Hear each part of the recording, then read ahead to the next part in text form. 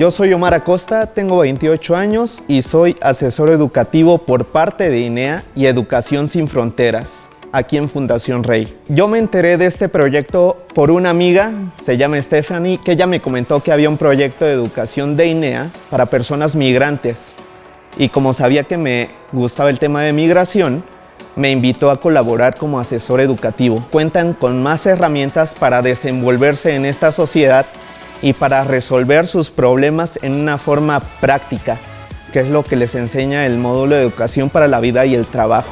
Y poco a poco están viniendo a tomar las asesorías y ha sido bastante buena la respuesta porque conocen la Fundación Rey y conocen a la población que, que vive en Fundación Rey. Y hay algunos prejuicios por parte de la población aledaña, pero aquí sirve para que se vayan rompiendo poco a poco y a través de esta experiencia con INEA y Educación Sin Fronteras ha ido siendo más positiva. Ellos se interesan más por, las, por la población que está aquí en la comunidad y hacen algunas donaciones también en materia.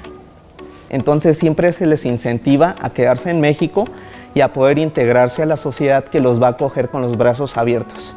Yo les recomendaría que no escatimen esfuerzos con esta población, son seres humanos al igual que nosotros y también son personas que merecen una oportunidad porque vienen huyendo de situaciones muy complejas y muy complicadas en su país. Entonces yo les animo a que sigan trabajando no solamente con la población migrante, sino también con la población nuestra nacional.